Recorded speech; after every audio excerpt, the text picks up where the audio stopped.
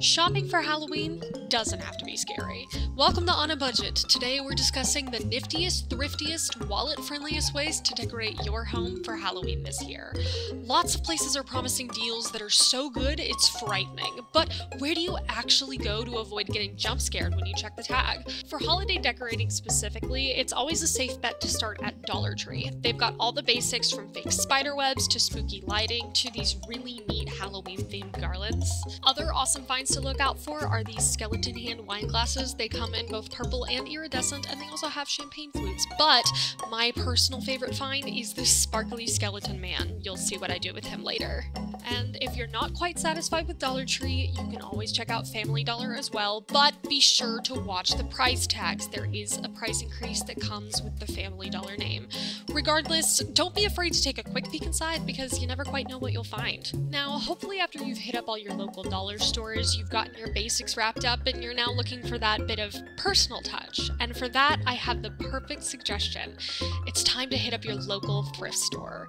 Now, I know Goodwill has a reputation of being hit or miss, but you gotta admit, if you're looking for something unique, something that no one else has, there is no better place to check. Now, don't get me wrong, thrift shopping certainly takes the most patience of any budget friendly option on this list, but I would argue it's more than worth it. I, in fact, tend to visit multiple, and I would encourage you to try to as well. If you're looking for something personal, why not try something that was once personal to someone else? I myself found these holographic spiderweb plates for only $4, and of course, while you're there, don't forget to check the sections that aren't designated for Halloween. You never know what you might find, like these candle stands, or this one, or this one.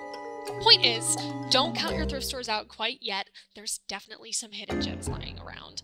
Now, let's take a minute to talk about some places you might actually want to avoid this year. This, of course, should be taken with a grain of salt. Obviously, I can't stop you from going anywhere, but here's a quick word of advice you might want to consider. Places like Home Goods and HomeSense are often trying to sell you on trends, fleeting things that provide no longevity and no repeated use for years to come. While the idea of a pink pony Halloween might seem nice this year, it might not the next, and the best way to save your money is to buy things that you will continue to use. So you might want to skip out on this green vampire bat boy thing. Seriously, what is this?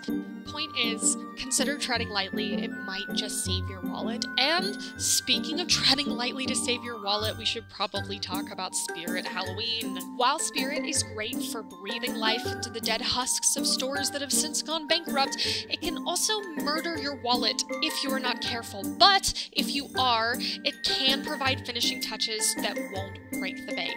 Like these bleeding candles for only $5. You could even pair them with the candle stands we saw at the thrift store before. But for me, this is where I headed home. Here is my haul. I decided to start by decorating my balcony with this creepy cloth. I paired it with the holographic spiderweb plates and the skeleton hand champagne flutes. And for a finishing touch, I decided to wrap bars with Halloween themed garland just to pull it all together.